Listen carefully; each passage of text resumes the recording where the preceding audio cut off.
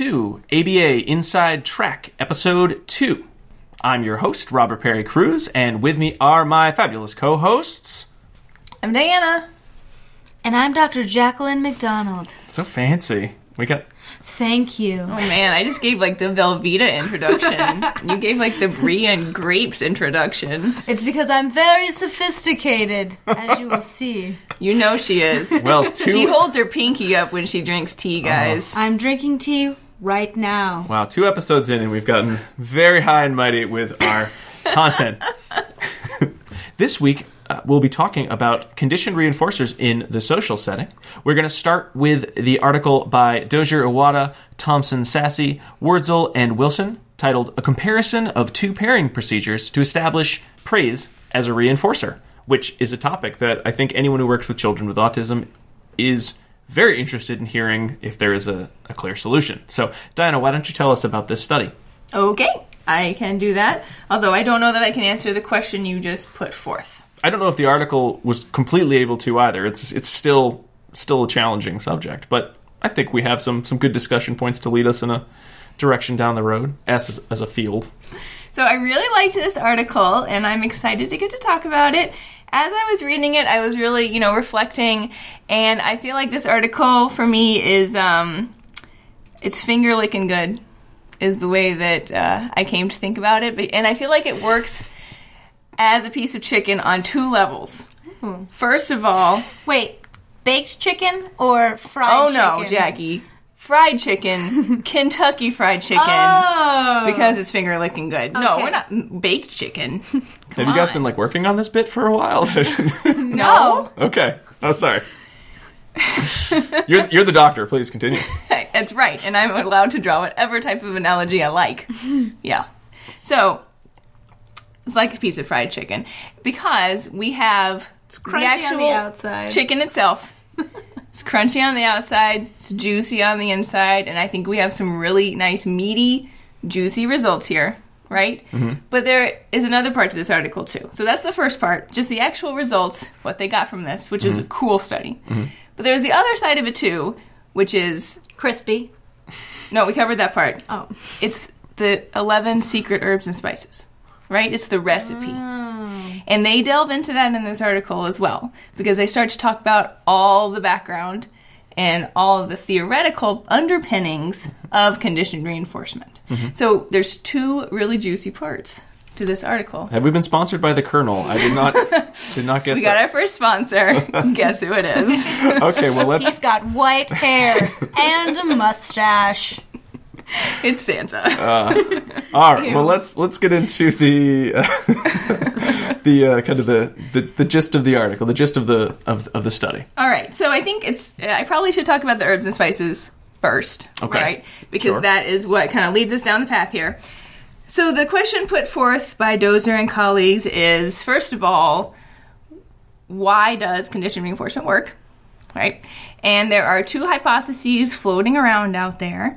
They spend more, a little bit more time on one than the other, but the first one is the traditional pairing hypothesis, which is you pair a neutral stimulus with a previously reinforcing stimulus or a primary reinforcer, pair them over time, and much like uh, what happens in Pavlovian conditioning, that second initially neutral stimulus is now going to function as a reinforcer, right? Just through pairing. Um, so that's the first hypothesis. And Yeah. I'd like to point out that Rescorla in 1988 would actually say that it's not about the pairing, it's about the association between the contingencies. So it's association between the stimuli um, and the Oh, yeah. So they wouldn't necessarily call it a pairing. So this, I think, we should talk to uh, Miss Dozier uh, because. Res Cola in 1988 made a very convincing argument that it's not about repeated pairing, it's about the association because it can occur at one time.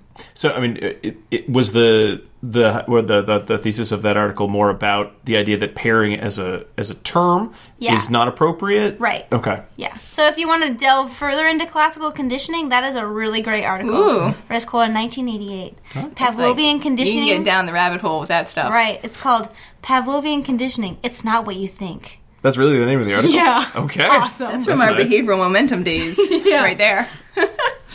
okay, great.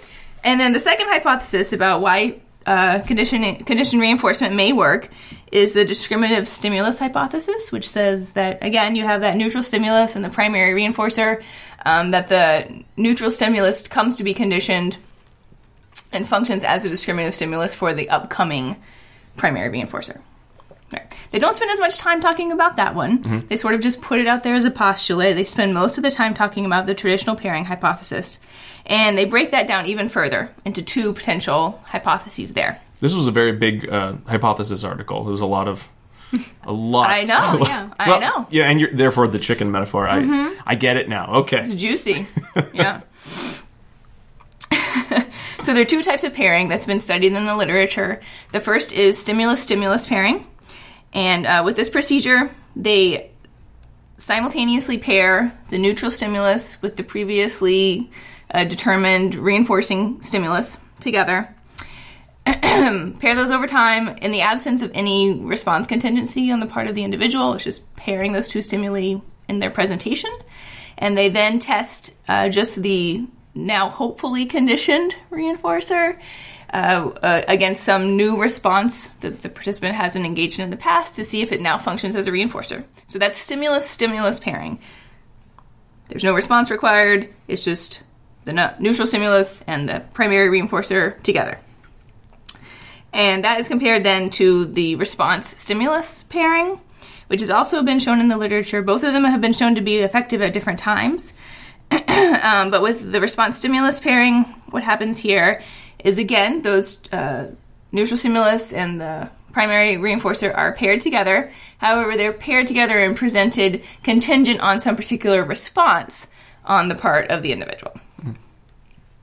And um, so, participant engages in response. Those two un- or primary reinforcer, neutral stimulus are presented together, and they then use the same response that has been established with both of those, and only provide the neutral or now perhaps conditioned reinforcer. And no longer the primary reinforcer to see if that behavior then maintains with mm-hmm. just the conditioned reinforcer. And that's called the established response procedure. So, what, Response stimulus. yes. Yeah. Yeah. so what they wanted to do here in this study was compare the two.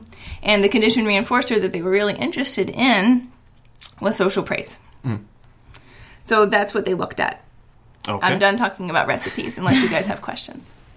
I think it sounded really good. That was a really good synopsis of the introduction. I think that this actually introduction would be really nice as a complement to one of your chapters in a book when you're talking about stimulus stimulus pairing or stimulus response pairing. Yeah. Because it gives good um a good segue into like what they are, how they work, good examples without a lot of the floweriness that you usually see in um, article introductions. Yeah, they got everything in that they needed to. And I mean, it was a little bit of a longer introduction compared to many studies, um, but it was because it was so juicy, so they fit a lot of stuff into a short uh, amount of space there, Right. which was nice. Um, so I think we could then move on to talk about the crispy meaty part Yeah. of the study. Let's, let's right? go to it. So in this study, there it was broken into two studies. There were 12 participants total. In the first study, study one, there were four participants here. Um, all of them had a range of developmental disabilities. And uh, this study was looking at stimulus-stimulus pairing. So they were pairing a, excuse me, a primary reinforcer that was an edible of some type with a novel praise statement that they hoped sir, uh, would become to be a condition reinforcer. Now, I think the presumption here was that these individuals had certainly heard many praise statements before, right? So they couldn't use something like "good job" because the there was a very good chance of them having history with that response. So they needed to pick some novel praise statements that they didn't think the individuals had heard before. Let me tell you what the examples are that are in the study. so they list three, but they had to have at least 10 for each of the participants. But the examples were you go, girl, get on with your bad self, and keep on rocking in the free world. These are good. Good. Praise statements. Those are amazing. Do they add those to the list of 100 ways to praise a child? they should. They- They're put those at the end. Yeah. Um, you know, so I don't know if you guys have. I'd love to expand on that list. You know, is there what would you use as your novel praise statements were you to need to? Oh, I think you know, I'm, I'm I'm very fond of like, oh snap, but that's usually kind of like, oh, you screwed up. So. Yeah, but, but like again, it's snap, novel snap, praise snap. statement. Yeah. I, Yeah. w- I will pair it uh, with, could- with other situations. it's- Maybe If make it's previously fun. neutral, yeah, it shouldn't you shouldn't can use anything. Aw, aw snap, shamoun. oh you my, that's great. Yeah. I don't know what that means, but doesn't matter. So when I initially thought about this, what first came to my mind was the rapper Ludacris. and so it's Jackie, Jackie that- loves rap. I I love the rap music. Um, and so I think it would be like, what? Luda! So that's what I would do, following any correct responses. wow. Yeah. Um, and I can't remember what other sound that you know, like when they when they're rapping and they're just like, oh, that. So I would do that too. So those types of sounds, um, I would do after, and maybe like a high pitched e, like wee, like that. Oh yeah, that, That would be fun. Do the Arsenio. Yeah, those are all things that I would definitely do. Um, also, I think it would be really fun um, if we used like audio clips of like famous old actors like Richard Simmons, and he was like, "Let's just sweat it out." Like that would be pretty awesome. Um, I don't know. that's Good. We, we have so much technology. I'm glad we're using it for, for good, good things Yeah. like old audio clips for the children. I mean, I, I do appreciate it when I hear, you know, teachers out and about uh, trying to come up with novel praise statements, but I, I have to say I heard winner, winner, chicken dinner Mm. the other day in the hallway, and uh, that for me is not a neutral stimulus at all. No. It's definitely Guy Fieri. but I mean, maybe that, that maybe Guy Fieri is a, functions as a reinforcer for that individual. I don't know. Child might like diners, drive-ins, and Yeah, who discos knows? or whatever. Who knows? So I shouldn't judge, but True. reinforce. You know, everyone's reinforcer is a little bit different. we should respect that. you're, you're right. It's all. It's all about the responding. I got the rap lovers. good, good. Soulja Boy. yeah. I think that's a rapper. Um, all right, so they found ten novel praise statements for each of the individuals, and they uh, they looked at um, initially a baseline phase in which they provided no type of reinforcement for responding. They looked at a praise only phase in which were responding to occur, they would have provided a praise response. However, there was very little responding that occurred in that condition. They then um, did a pairing condition no response required. Uh, just paired the edible with the neutral praise statement, and then they followed that up with a the praise condition again, where if responding occurred, it would be re, uh, reinforced with the praise statement. So I'm going to interrupt you for a minute. Yes, ma'am. um, and tell you two things. One thing that they did, one thing that I wish they did. Okay. okay. So they did do a reinforcer test on the edibles. So they made sure that the edibles did function as reinforcers by using switches and seeing, you know, following contingent on a, a switch press.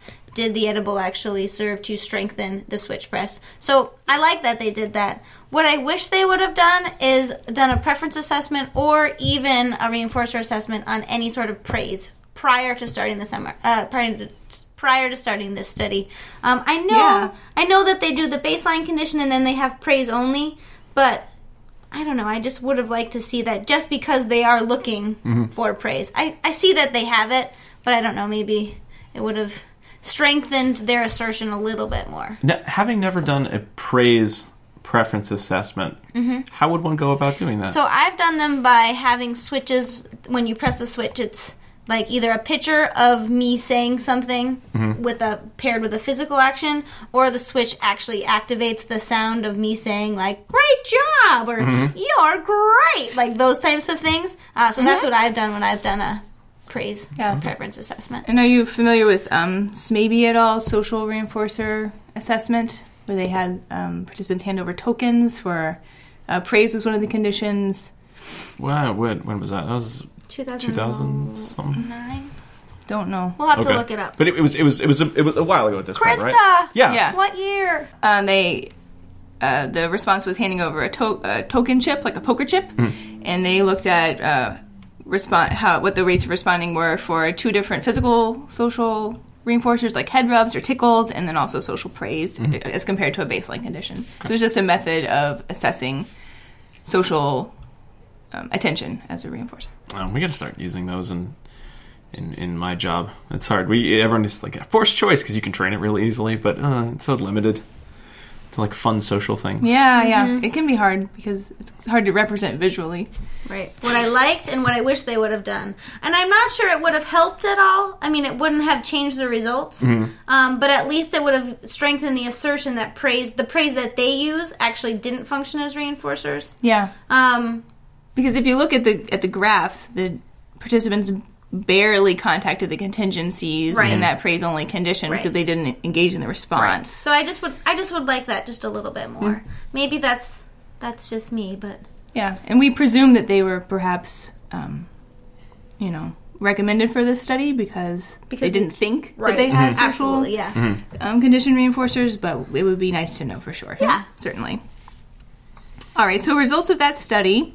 Um, three of the four participants showed no change in their responding from the initial baseline or praise only condition, which was zero or near zero rates of responding, um, despite the stimulus-stimulus pairing.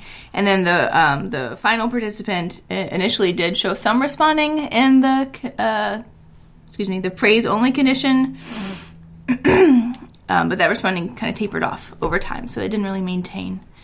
So overall, uh, they felt like stimulus-stimulus pairing was a bust For this for this study. for this study. Yes, Yeah. exactly. So And they it, it had been uh, thousands, thousands of pairings when they were all said and done. it was between sixteen. Oh yeah. thou- oh, no, excuse me, 1,600 and 2,400 pairings. right.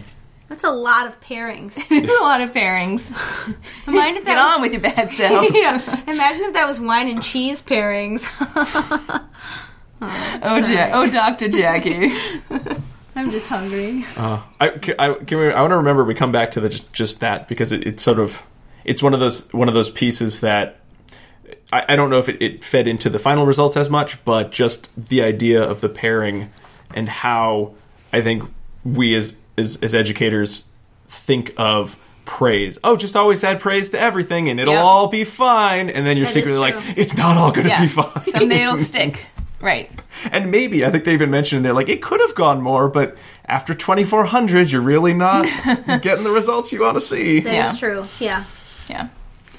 I feel like such a phony. I've told everyone for so many all these young 22 year old people like just always praise and it'll all work out. Well, hang on, though. Oh, okay. Because are you telling them to do that just willy nilly, paired with Skittles Always. that fall from the sky? no, Or are you telling them to do that following we don't some have the funding for, for the Skittle shooter anymore. you know the- that. Taste the rainbow. they have some weird They commercials. do. Yeah, they really have a good marketing team. Skittles, call us. Yeah, all right. Our second sponsor, Skittles. Taste the rainbow. But I bet you used to stimulus, use response stimulus pairing, Rob. I bet that's, That's what where you're I was doing. Heading. Yeah, It's possible no, I do. No, you definitely do. I definitely do. because you're usually not providing Skittles just willy nilly. You're usually doing it contingent on. But n- a you know what? No, true. I think there's been more of a push, at least with some of my coworkers, to focus on the stimulus stimulus pairing, uh, which to me, as in this study, has always felt like a little bit like wishful thinking. If we just do this long enough, it's just going to happen. And I know that there is research to back it up. However, I know there's plenty that shows it might not be the strongest way to make uh, your condition reinforcers come about. So I can presume that you are not the king of wishful thinking. Man, that's You guys are going to write comedy bits. You have to tell me before we start recording. Who is that? Chris Isaak? Is he in a oh, rowboat? I know I will. Okay. That's awesome. So this is the last episode, unfortunately. Sorry. We've been yanked from the airwaves. the airwaves. stress of podcasting has gone to their heads. All right. So stimulus, stimulus. Yeah, I was Not- working not on my segue into response stimulus pairing. I, ha- well, I had something I wanted to talk about. That's all. Oh, yeah. I'm sorry. No, no, it's fine. But I didn't mean to break your flow. Oh, that's good. That's good. So uh, that's where they moved on next. Was to study two to look at response stimulus pairing and the um, potential effects of establishing a condition reinforcer under that paradigm. So in this um, half of the study, they had eight participants, and um, it was set up a little bit differently than the previous study in that they did an alternating treatments within um, a multi-treatment design. So they compared a baseline in which there was um, no reinforcer going to be provided for a response, a praise only condition, and those were, like I said, alternated. Uh, responding remained low for all participants across those conditions. And they then implemented response stimulus pairing, in which the both of the reinforcers, the neutral praise statements, such as "You go, girl," and the edible reinforcer that had been identified as a reinforcer, were paired contingent on the production of the target response. They saw behavior occur for all eight participants under those conditions, and then they went back to the previous baseline versus praise only conditions. And for four of the eight participants, responding immediately decreased back to zero. So, response stimulus pairing for this group did not produce a condition reinforcer. Mm-hmm. At all. It went literally right back to zero Yeah. for all of the participants. Yep, it's zero. kind of amazing, like how quickly they were like, "Nope." I mean, I, maybe they responded No, one- once. Alicia responded once. One time, It's pretty Alicia. Everyone else was like, Rick uh-uh. responded once. Right. This is the part it. of the show where I describe the graph. So they're like really low, and then they go up, up, up, and then blah, low again. Right. Flat. You got it. Zero. You got it. However, for the other four participants, they saw responding maintain mm-hmm. in the praise only condition. That was very exciting. Yeah, it Right? was. Because that meant that they had a response that was most likely uh, maintaining under the newly established condition reinforcer of praise. So, Diana, I wonder what uh, the difference was between the three participants that the condition reinforcement worked for and those that it didn't work for. That's a great question.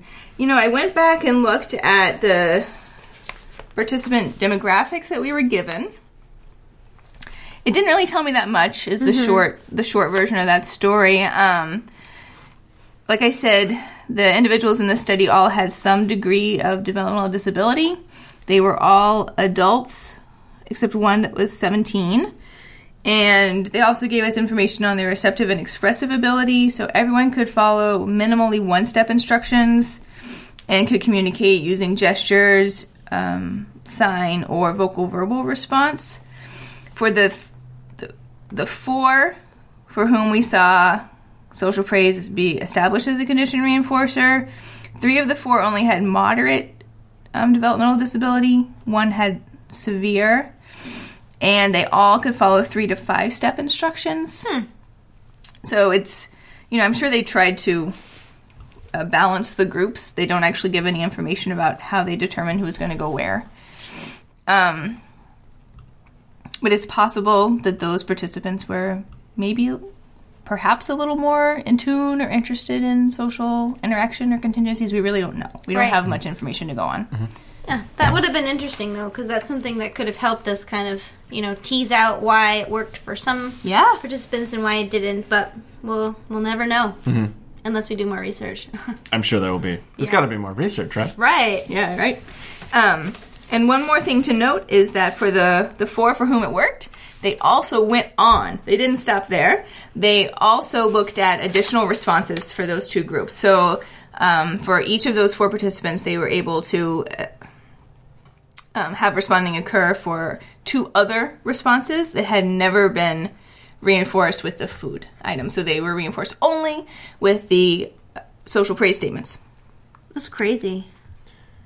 It's, um, but I think it comes back to, to your question, Jackie. Of that sounds. If you just shared those participants, it sounds like we got it. We found the secret Right. of making praise a reinforcer. But then knowing that pretty much half of the other participants just nothing, Right. nothing came of it. Yep. you know you, you're getting closer to the to the answer but what's the what's the variable what's what's Right. keeping this from being successful because i think one of the you know certainly being in, in a school system you get some people who are very much about you can use edibles you can use tangibles but you know even beyond sort of best practice trying to minimize those I've had plenty of, of people I've consulted with like this behavior is not going to go up based on just your saying good job. We have to look at other things, and there's oftentimes flat out refusal Right. and you're trying to explain if not why praise isn't effective maybe how it could become effective but then even mm-hmm. so like i said before the sense is i'm just sort of trying to give them some hope that it could be effective but i'm not sure that it that it will be and and this is you know nice to know that i'm not totally spinning my wheels just, but but the the why still seems very elusive. Yeah, and I mean, it's it's hard because socially mediated consequences aren't reinforcing for a lot of people.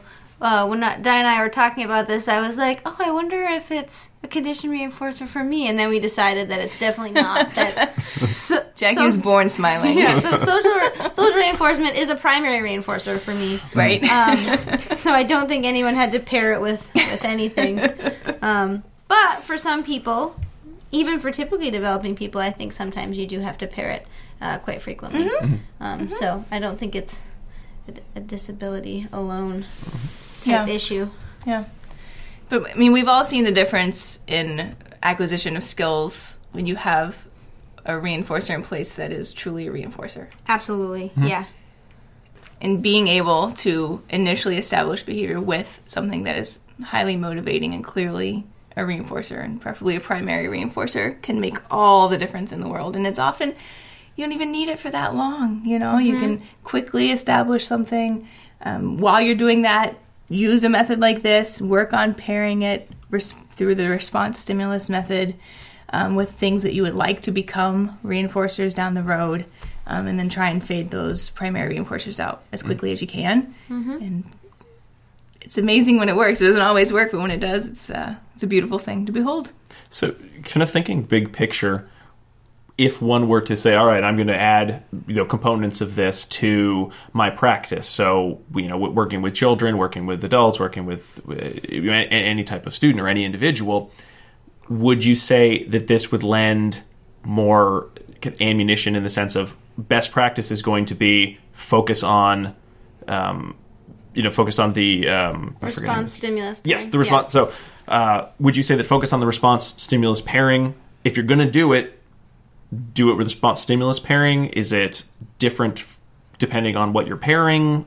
I mean, it, what's what's Well- your sense? I think that the the literature is mixed on this right now. Mm-hmm. So we have Yeah. seen effectiveness with stimulus stimulus pairing as they should they, they demonstrate in the introduction. Hmm. We have seen some success with response stimulus pairing. So maybe a quick little assessment uh, prior to you know going all out, I guess, mm-hmm. in in your you know in your session with a with a clients to see or look back at any previous histories of you know acquisition and see you know is it always Something.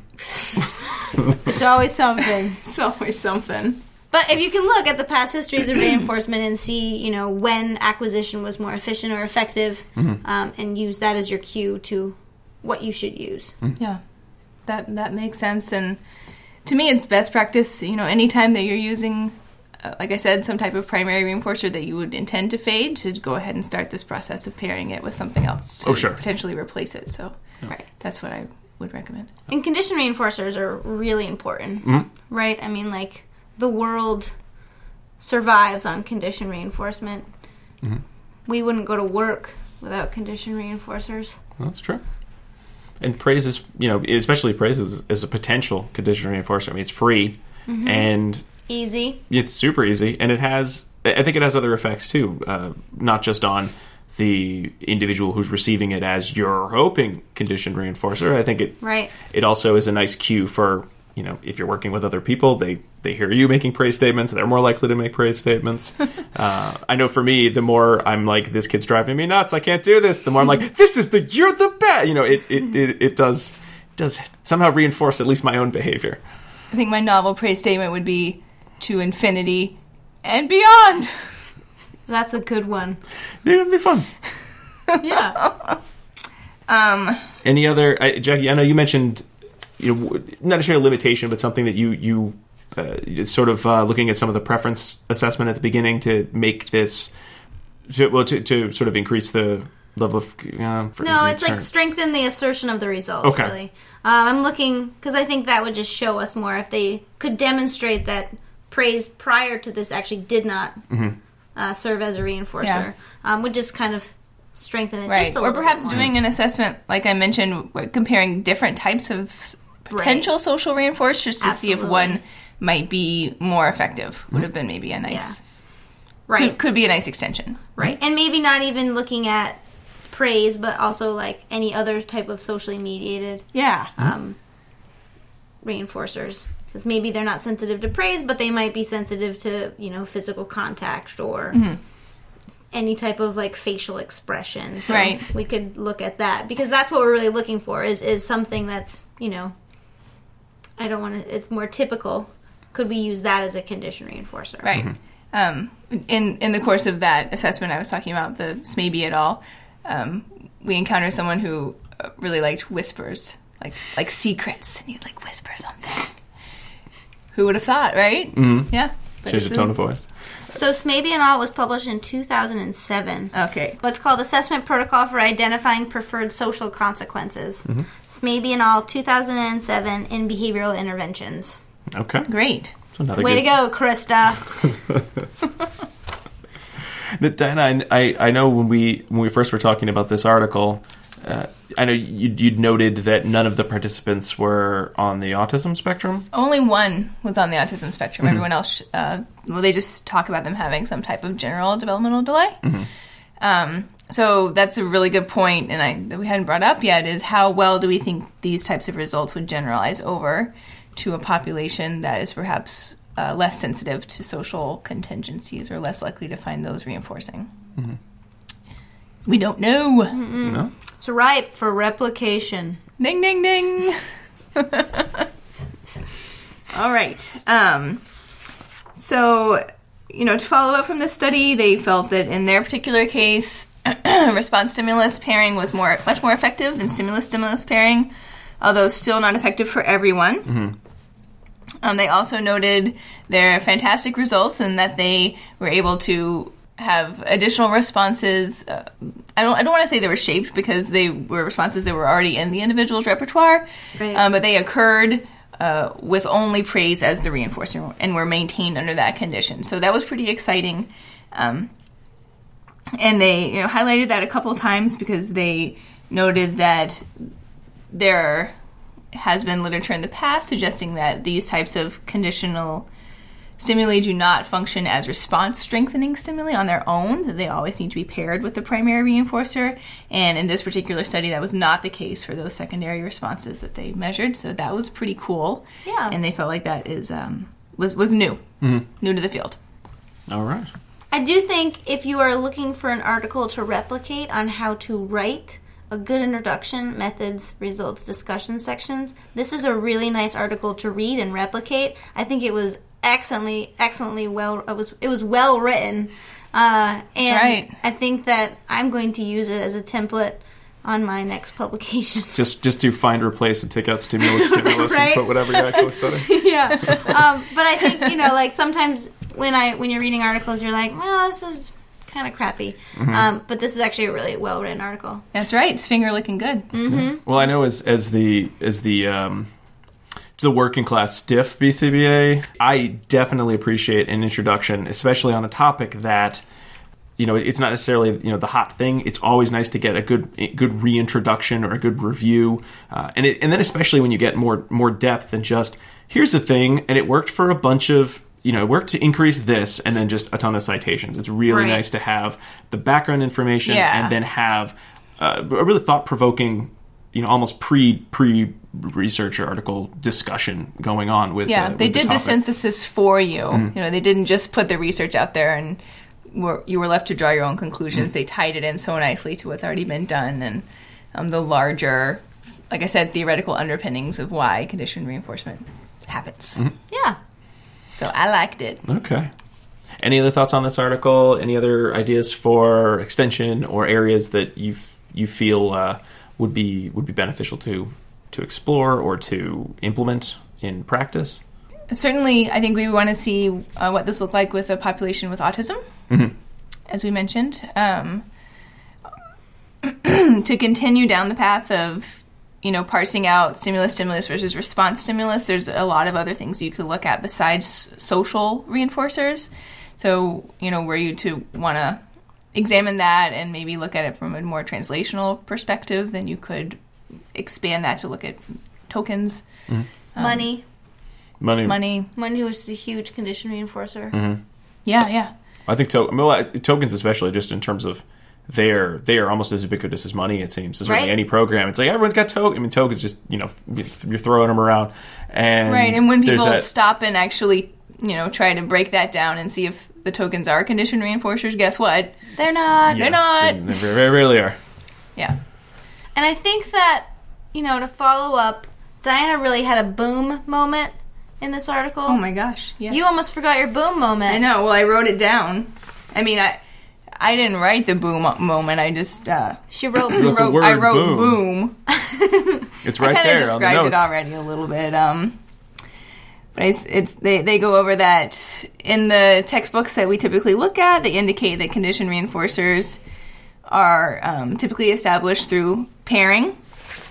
Um, however, in this current study, they highlight that this process of condition reinforcement establishment is probably much more complicated than that of simple pairing. It is unclear that the outcome is one in which praise actually functions as a condition reinforcer. It's much more complicated, is basically the bottom line. Right. Well, before we move on to our next article, I want to remind anyone at home who is listening and would like to earn continuing education credits for your for your listening and your thoughtful participation of our first code word. Uh, now, remember, if you are interested in receiving CEUs for listening to this episode, you can go to the website abainsidetrack.com and click the link get CEUs to find the full instructions, but the short of it is you will need to have the two code words hidden in this episode if you would like to receive CEUs because we really want to know that you've listened to the whole thing rather than just downloaded it, immediately deleted it, and then uh, sent us a you know sent us a quick note No one would CEUs. ever do that, Rob. Not that the, just in case some sort of mirror universe evil BCBA with a goatee. Not that they have, all goatees Well, are we'll evil. cover but, that in our upcoming ethics. Ooh. episode. Okay, now, now everyone wants to listen. So, in any case, the first keyword is Scotland. S C O T L A N D. Does not have to be capitalized, just Scotland. Where I want to go. So let's move on to the next article. Establishing books as conditioned reinforcers for preschool children as a function of an observational intervention. And this was by Singer Dudek, Oblak, and Greer in uh, Journal of Applied Behavior Analysis in 2011. Now, this is a very fascinating idea, and certainly reading the title, my first thought was this doesn't sound like something that will work. It's true, actually.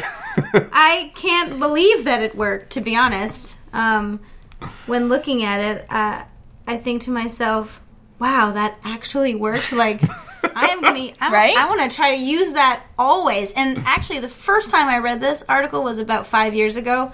Um, and I think I forgot. In 2011. Oh, duh. And I remember because I was supervising a classroom of children diagnosed with an autism spectrum disorder, and I read the article and I was like, "Oh my gosh."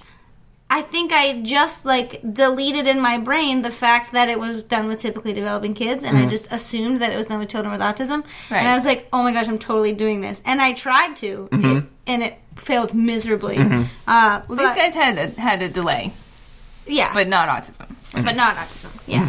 Um, but yeah, it, it failed miserably. But you know, I love the idea, and there are Yeah. so many ways you can actually use this, and we'll get into that in a little bit. But so, Jackie, why don't you give us the, the introduction and, and, and set up the research for us? yeah, so really, what they were looking at is they had done a, a brief literature review about all of the articles demonstrating that stimulus stimulus pairing had been effective.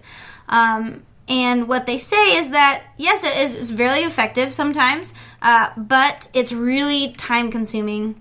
Um, what we took like 1200 pairings or 2400 pairings what we were talking about before and that didn't even work but um, and also they saw that there was a lack of generality across settings so they they haven't demonstrated generality to other reinforcers when they're using this stimulus stimulus pairing uh, greer and Singer-Dudek in 2008 conducted a study trying to look at how they could use other methods to establish a condition reinforcers. Um, and they kind of drew from some of the literature on observational learning um, to help facilitate this new procedure that they were using. And Jackie, if I'm not mistaken, your dissertation research was on observational learning. Yeah, my dissertation uh, research was on observational learning, and I do like to point out in the beginning, as the authors point out in the discussion, that this article is not an example of observational learning. Okay, great. Um, gotcha. So it may seem like they're postulating that this article in the beginning in the introduction is driven from uh, like the theory of observational learning, but it absolutely is not, and they do state that in the discussion. Um, so here they're just using an observational intervention, um, whereas observational learning you need to observe the response and the contingencies, um, and you have to observe the response under the contingencies that produce positive reinforcement and uh, a response that will likely not produce reinforcement. Um, so this is not an example of observation learning. Right. Um, so they that's why they term it an observational intervention. All right. and, and that- but that's because they were not they were only observing their uh, Confederate peer just Receive after they'd received the reinforcement. Yeah, so so their first uh, experiment was conducted in 2008, and so they had six preschoolers with a language delay, um, and they found that discs and string did not serve as reinforcers. Um, but then Discs? disc like probably Like tokens. floppy disks? Yeah, Like AOL CDs? right. I think yes, they found that AOL CDs. that came in the Um, mail. I think probably what they were talking about were like tokens, probably like a bingo. chip. Okay. We found this crap in the bottom of a drawer and I decided mean, that to would make be an a experiment. neutral stimulus. And then they said string for one participant, right? Okay. So these did not function um, okay, as I see. reinforcers Okay. For these six participants with language delays. And so the intervention just consisted of the six learners observing their Confederate peer receive the discs and or the string uh, following a correct response. But it's important to note that the uh, learner did not uh, observe the Confederate engage in the response. All they saw was uh, the Confederate receive the disc and or the string. So what they noted as a side note is that once they saw the Confederate, once the observer saw the Confederate uh, receive the distance string contingent on those correct responses, that then the learner tried to reach for the discs, tried to grab the string, asked for them, um, and then following that was the intervention. Basically, just watch somebody else get it, and Watch him play with string. yeah, watch them play with string, and then so following the intervention, then they assessed if those thing if those items were now reinforcers, and they found out that they were, which is kind of crazy. Yeah. Um, So these must be individuals that have a history with this type of very clear reinforcement contingency It- in the context must. of a work program. Right, and I do think that they didn't say it here because it was the replicate, but the, this current study actually does say that that they do have a history Yeah. of that sort of. Uh, they have good instructional control um, in the classroom. Okay. Um, but the current study that we're going to be talking about is extending and replicating this uh, Greer and Singer Dudek uh, 2008 article. So they're replicating it by using the exact same procedures, um, but they're extending it because they're assessing uh, generality in different settings. So another way that they are replicating it or extending it is using uh, educationally uh, relevant materials such as picture books and not things that we find in my drawer. Right. right. Um, so they wanted to see if Contents of the bottom of your purse. right. Let's see what I have here. Lipstick. a Mento Oh look, it's an old apple core. Some receipts. and a paperclip. Research. Um, so they wanted to see if they could uh, condition use they could condition books as reinforcers. Yeah. So they had three preschools. Which is a noble task. Yes. absolutely right? Yeah. yeah, because A lot more social validity to your my child now likes books than my kid loves string. it's great. I think nobody would like that. Right. So in this study, we had uh, three preschool children, and they had mild to moderate language or developmental delays. Uh, they all received a diagnosis of preschooler with a disability, as designated by New York State. Yeah, I was gonna say Thank this you, one New York That's Massachusetts. State. something special, I guess, for New York. Right. But because they had this diagnosis of preschool with a disability, they qualified for early intervention services. Um, but it doesn't seem like they had a lot of deficient skills. They certainly didn't go into. Well, they list what they can Yeah, do. they can do a ton of stuff. Like Katie, she's four. She can tact. She can count to 20. She can identify letters, numbers, colors, trace letter, letters, numbers, and shapes. But during her free play, she played with toys and dolls and just didn't look at books. Right. Um, I don't. There's something about when I read research and I'm looking at the participants and they're like, and this kid was the best, and here we. It's like, oh, I'm Right. okay. This might not be helpful for me. So um, all of the all of the participants earned tokens throughout the day and exchanged tokens for some preferred items. Um, and casually, the teacher noted that none of the participants would exchange their tokens for books, um, but they would, you know, exchange them for like dolls and blocks and that sort of things. Um, they had three other preschool children that served as comp- uh, as peer confederates. Um, they were not classmates of the participant, um, but they did attend the same school. Then they basically replicated the uh, procedures done by uh, Greer and Dudek Singer in 2008. So they had a pre and post observation intervention. Um, what what was kind of interesting is that they looked at both maintenance tasks and acquisition tasks. So first they looked at maintenance tasks, um, and they did a pre uh, observation uh, pre observational intervention where they just looked at responding to maintenance tasks um, with books as reinforcers. They looked at both food as a reinforcer and books as a reinforcer. Right. Yeah. So phase B was books as a reinforcer, and phase A uh, was food as a reinforcer. And then they did their intervention. And books did not work for Right. the pre-intervention. Right. But Yeah. we haven't talked about the graph Oh, yet. oh, I thought we were talking about graphs. No. sorry. Procedures. I'm sorry. It's okay. So in the pre-observational intervention, they looked at both maintenance tasks and acquisition tasks and either provided books contingent on correct responses or food contingent on correct responses. Then in the intervention phase, the target participant observed the Confederate student receive books contingent on correct responses, but it's really important that they saw only the delivery of the book and not the Confederate engaging in the response. Mm-hmm. Mm-hmm. Um, and that nice large divider, and it was a tabletop task. So. Right. Yeah, so you couldn't see over it. Yeah. Even if you tried. They're preschoolers, so they couldn't get that high up. But it wouldn't be funny if they were like climbing. They're like, I'm looking. I just love the idea of like I've got this giant like T square. I'm gonna stick it right between all you kids. Don't look. um, yeah. And then they had a post uh, observational intervention to look to see if there was any changes um, in the correct responding, following books and or food. Um, so I think it's interesting to note that they used delayed multiple baseline design across participants, and I love when people put delayed. Yeah. Um, what do you think about that, Diana? Well, it's it's interesting. I mean, to me, it looks like it was a non-concurrent multiple baseline design, which the, is now arranged, um, perhaps according to when sessions occurred in actual time, but it's a little difficult to know, Right. right? I never really understand when someone writes the delayed in the front, but it's It's probably it's, an, it's not a concurrent multiple right. baseline design, absolutely it's not concurrent. right? So it's really unclear when each participant Right. participant started and ended. Right. So, you know, we have uh, Katie w- was the first participant, and she did about six sessions of baseline and then started intervention.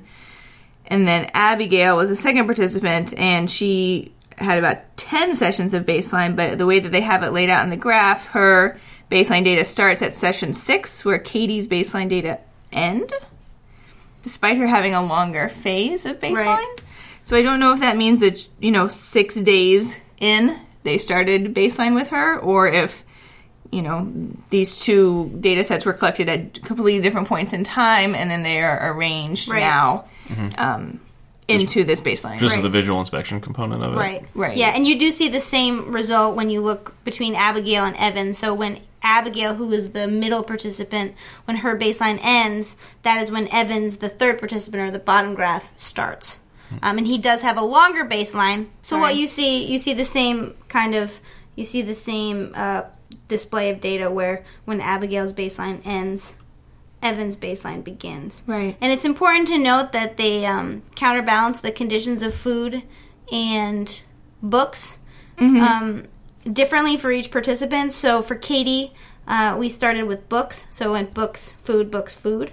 Um, and Abigail, it went food, books, food, books.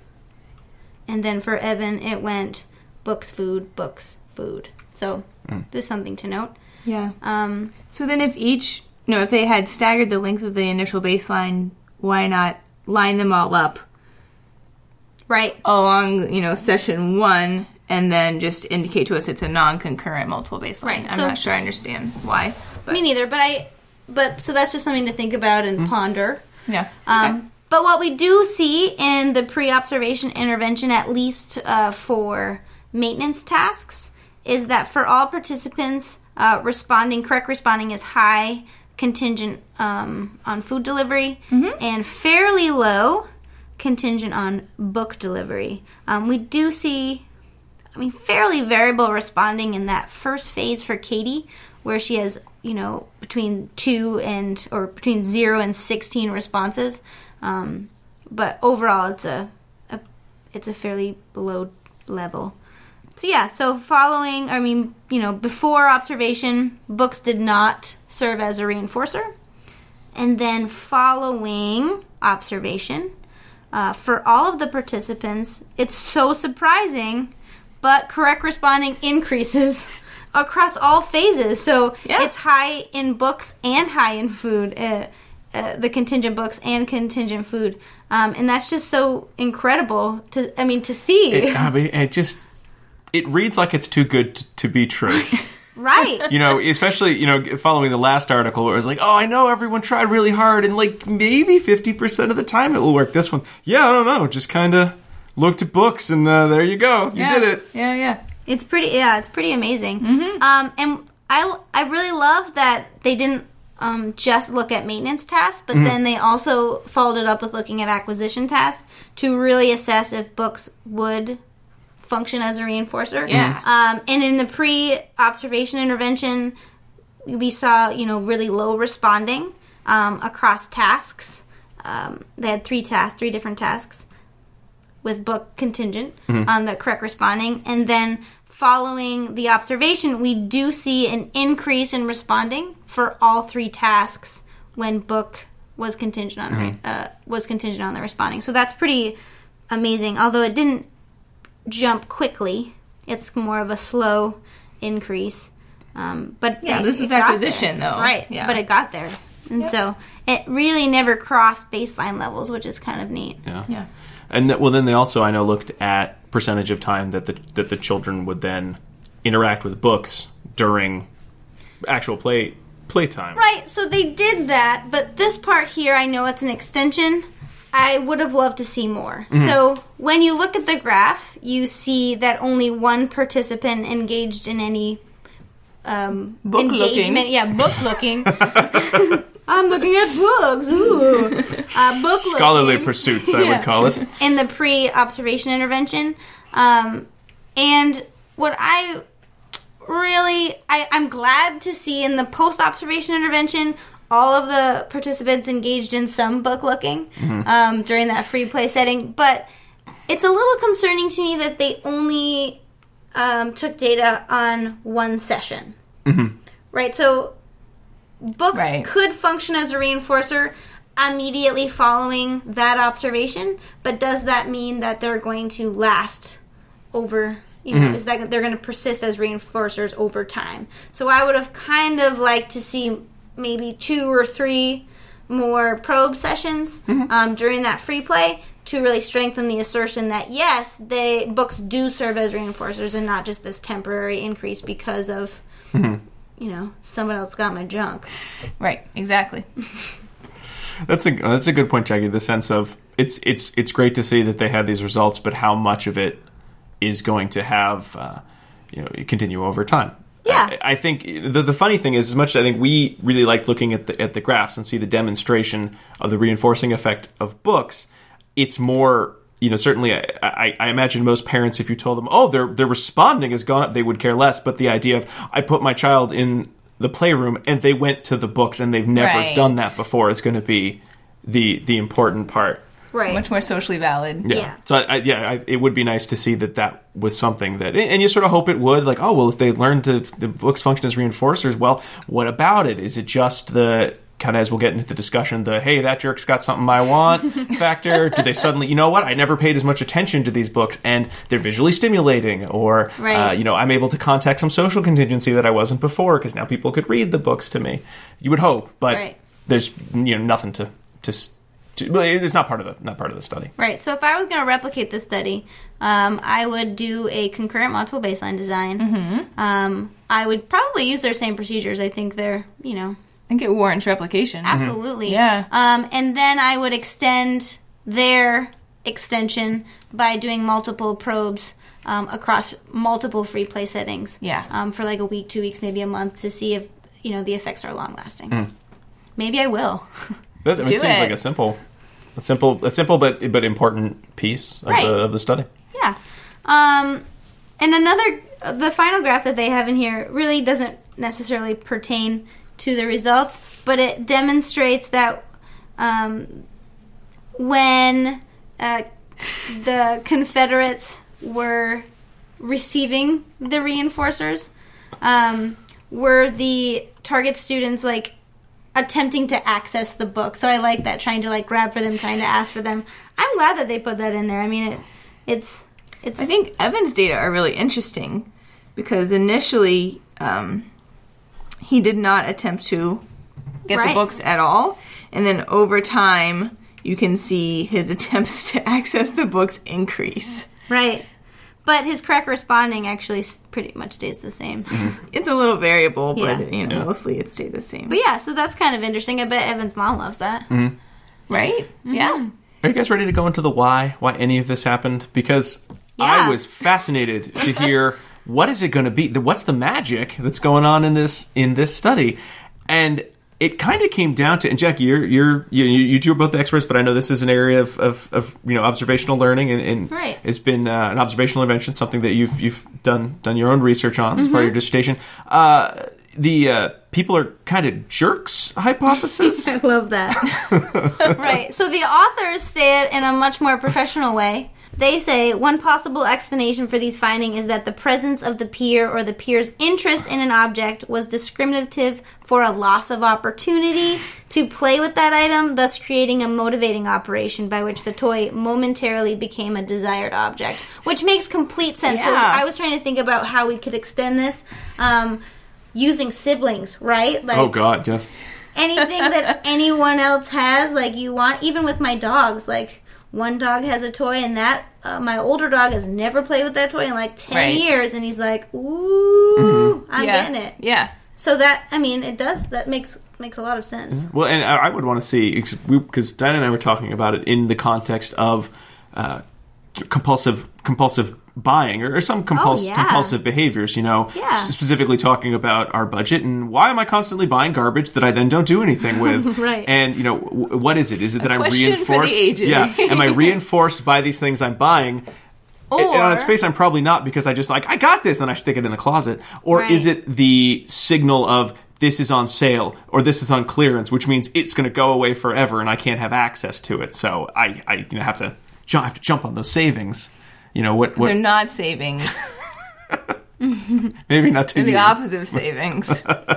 but that would be interesting to look at, especially as as I think we're increasingly in a culture of it's so so easy to get what you want when you want it. So could we look at look at that component?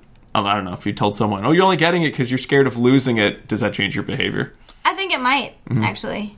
I mean, it sets up it sets up the motivating operation, right? So when I can't have something, then I probably want it more. I mean, I think um, you know, coming to this article from the last one and trying to sort through stimulus stimulus pairing and response stimulus pairing, and then you get you get here, and it's neither. Right. It's not stimulus stimulus pairing. It's not response stimulus pairing because it's it's not stimulus stimulus pairing because there is no primary reinforcer being delivered Right. and it's not response stimulus pairing because while the um, participants are emitting a response, they are receiving no direct reinforcement. Right. Which is why it's also not observational learning. Right. Because Just- they're it's not intervention. right. It's just the intervention because they're not observing uh, the discriminative stimulus that will occasion positive reinforcement in the presence of that correct respondent. Yeah. Now, would, do you think that would have made a difference in the in in the results? I think that they wouldn't be able to so clearly state um, that it's due to just the observation Yeah. because then it could have been due It to changes imitation. the question. Right. It changes the question and it kind of murkies the water a little bit. Yeah. So that's why they were so clear not to have the target um, observe the response of the confederate because then you don't know in the acquisition if it's because they learned through imitation or because they learned because of the reinforcer. Okay. Yeah. Bam. All right. Boom. So some good ideas for for future research, future replication with this. Uh, I kind of want to do the study. What, what was it? That Seventy five percent of uh, problem behavior. I think it was was related to the fact that Oh. someone else I have that for you. had something. Hay yeah. and Ross in 1982 um, studied 21 month olds, so babies that are not yet two, and found that 75% of their conflicts were over toys. Where's the? I want to see what. I want to but- see a graph. What is that over time? Oh, how does it change? Is it seventy five percent? You know, you're going to see that till you Ever. know, till they're fifty, and then Yeah. maybe if it drops siblings, off. yeah, I think it just continues at the same rate. Um, but the, the secondary point, which is the best part, is that these conflicts occurred when identical objects were readily available. And after the conflict was over, the victor rarely played with the toy in question. Yeah. well, there, there's there's me and why I buy stupid objects. I don't want them because I want them. I want them because I don't have them. The only reason you want it is because you can't have it. Right. the research shows You that is normal be human behavior, Diana. yeah. It's completely acceptable. But I mean, I'm an organism. I, I follow these rules just like everyone. There are a lot of contingencies. That's true. If you're there, there's certainly a discriminative stimulus for some sort of punishment if I continue to buy the object. So it does lower my responding in that in that regard. Good. Not really, audience. I've attenuated. So another thing that they didn't look at in this article, back to the article, is whether peers themselves actually functioned as the condition reinforcers, even though they weren't classmates. Mm-hmm. We don't know if there was a history between the peers um, and the They weren't the recessed owners. together, I think right, they you never mentioned. know. Yeah. yeah. So I think that's an area of future research that we could look at. Um, you know, look at familiar peers and unfamiliar peers, um, and see if that has any effects. Hmm. Yeah. I just think it's really interesting. I actually think I might want to replicate this study in a daycare setting and see if I, with typically developing kids, and see if I can get the uh, same result. Mm-hmm. Um, Yeah. But it'll be hard to find kids that don't um, like books, so I might need to find something more neutral. You could use, yeah, you could Yeah, I use can all use some- sorts of I can- things. Yes, Just a more socially appropriate toy. right. You know. Yeah. Well, before we uh, finish up with any final thoughts on this article, I do want to give out our second code word, our secret word for the episode, and it is maple. M A P L E. Maple. Any final thoughts on this article? I think we hit it. I think we hit it, but I think our next stop is a dissemination station. All aboard! Trains pulling in. What are we disseminating? I think we talked kind of along the way about some of our dissemination ideas. Um, But now that we're on the dissemination station train, um, to reiterate, both of these studies, I think, um, almost beg to be replicated with other populations. Absolutely. And with other stimuli, Yeah. other items. If you replicate the second one, Jackie, can you just title it "The Magic of Books"? I just, And then, like, the reading rainbow guy will be, like, right there. I feel like LeVar Burton would totally pay for your uh, for your research just to just to have that be the be the, the conclusion. Books are magic. yeah. And then we'll actually insert the more you know star. so we get everything in there. Great idea. So the take home points really are we don't know which is better stimulus stimulus or response stimulus pairing, but according to our first article, response stimulus pairing may be more effective for some learners. Um, we also talked here about looking at other potential condition reinforcers that we could use besides books or slightly bizarre praise statements, right? Yeah, so I think we found some really interesting results today that and our main take home point is that really get out there and do some research.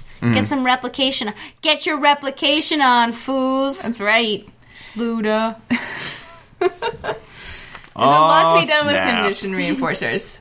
Right. It's a really important area, actually. And these studies are good, but there's a lot more that we could do. Right. And um, we should do it. we should.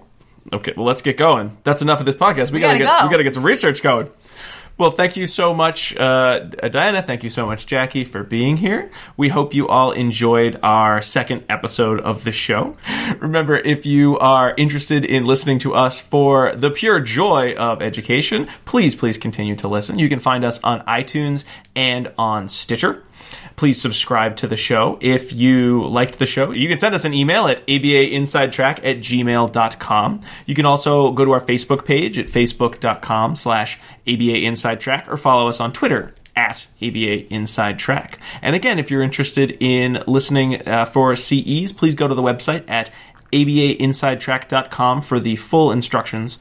Uh, and then, Jackie, I know you had uh, another another announcement you wanted to, to make. Yeah, so if you are interested in pursuing a degree, you know, a career in behavior analysis, I strongly encourage you to check out the MS in Applied Behavior Analysis at Regis College. It's it's a really awesome program. You can do it in two or three years, uh, work full time or part time, and get to hang out with me That's right. on a weekly basis, Yeah, not just bi-weekly.